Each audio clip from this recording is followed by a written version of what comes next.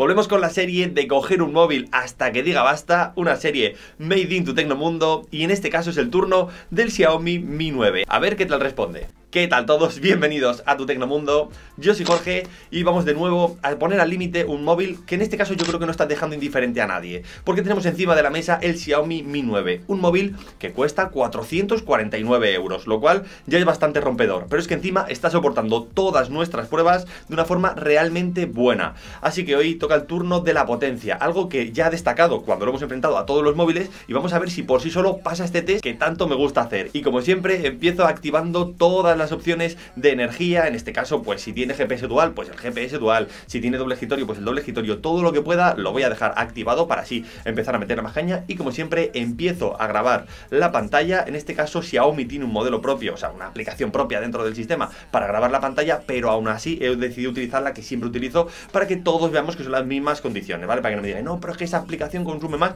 exactamente me gusta medir las cosas en igualdad de condiciones y como siempre hago, también activo la linterna para darle caña de verdad a estos dispositivos. Empiezo instalando aplicaciones. Me meto en el Play Store, cojo la colección y empiezo a instalar aplicaciones sin parar. Aplicación, aplicación, aplicación. Cientos de aplicaciones. En este caso ya es una prueba que tengo tan trillada que solamente me tengo que meter en el Play Store y darle a la colección e instalar todas las que veo. O sea, realmente no tiene mucho misterio. Hay juegos, hay películas. En este caso es así como llegamos al 100% de su capacidad y cuando ya no queda ni un solo mega libre es cuando empezamos ahora sí a usarlo de verdad. Empiezo a abrir aplicaciones, a dejar muchísimas aplicaciones en RAM. En este caso voy una a una y estoy durante bastante rato abriendo todas las aplicaciones que pueda de este dispositivo para darle caña, para que, digamos, le tengamos contra las cuerdas. Y cuando le tengamos contra las cuerdas, empezamos a jugar. En este caso, el Asphalt 8 es el juego que elijo siempre para empezar estas pruebas y la realidad es que muy pocos móviles me han dado problemas hasta aquí. O sea, creo que la mayoría de la gama media, gama alta, hasta aquí llega muy bien. Y este Xiaomi, pues no podía ser de otra manera. Lo mueve con perfecta solvencia,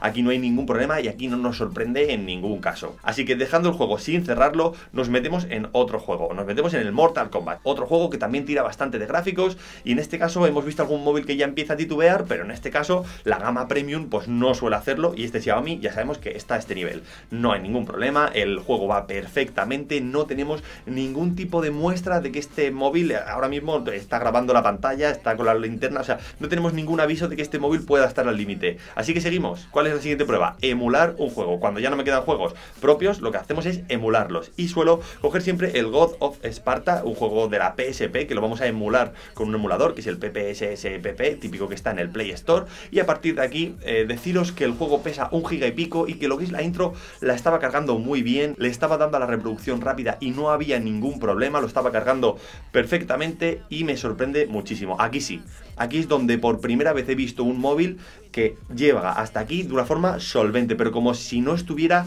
ni preocupado. Mueve el juego perfectamente, o sea, siempre lo hago con la misma configuración y es que no me deja dudas. Es el móvil más potente que he probado jamás. Es que aquí lo estáis viendo, es que se desenvuelve sin ningún problema emulando este juego. Llegados a este punto yo ya estaba muy emocionado, porque de verdad pensaba que iba a ser el primer móvil que cargase Windows, tardando mucho, ¿vale? Con todo lo que tú quieras, pero que acabase cargando la ROM de Windows que siempre le pongo para emular. En este caso siempre la misma ROM de Windows 10, mismas configuraciones y de nuevo, misma respuesta. Es donde han muerto todos los móviles. Todavía no he llegado a ningún móvil que con todas estas aplicaciones abiertas, con todos los juegos, con todo lo que le hemos pedido, después llegues a Windows y lo emule. Estoy seguro de que este móvil, este Xiaomi Mi 9, lo acabaría emulando sin ningún problema si esperases un tiempo y si lo tuvieras totalmente limpio. Pero lo que es el test que siempre hacemos, la prueba así, todavía no pasan de aquí.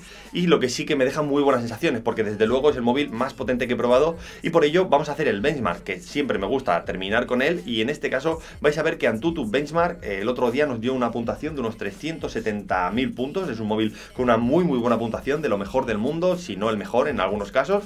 Y lo que encontramos aquí es que hemos obtenido una rebaja, en este caso unos 20.000 puntillos de, diferencia. Es decir, se le ha hecho daño al dispositivo, ha perdido capacidad de, procesamiento, pero no tanto. Está bastante, bastante parejo si tenemos en cuenta, por ejemplo, que hace una semana le hice la misma prueba al Galaxy S10 Plus y en este caso bajaba hasta 90.000 puntos Antutu en este caso que solo baje 20.000, teniendo en cuenta, como siempre, diferencias de precio y tal, me deja muy muy buenas sensaciones, me dice que este móvil realmente es así de potente y es lo que siempre os digo, este móvil es esto, o sea, vende potencia y velocidad y luego una relación calidad-precio muy muy buena. Entonces, claro, aquí de verdad está más que al nivel de la gama más premium y lo demuestra vídeo tras vídeo. Yo de verdad no sé qué es lo que más eh, le podría pedir a este Xiaomi Mi 9 por este precio. Me parece una locura y estoy muy muy contento con ello. Que luego tal vez la batería pues no es el mejor rendimiento del mundo, que tal. Vale, es cierto que tiene cosas que no son lo mejor, pero lo que es calidad, precio y este rendimiento es que, lo repito, es espectacular. Y de nuevo, otro test que me ha dejado con la boca abierta. Así que por mi parte, no mucho más, que espero que os haya gustado el vídeo, que lo premiéis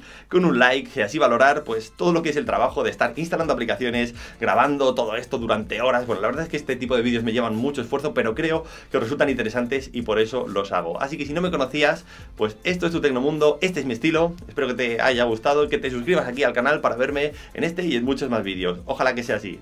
Hasta luego.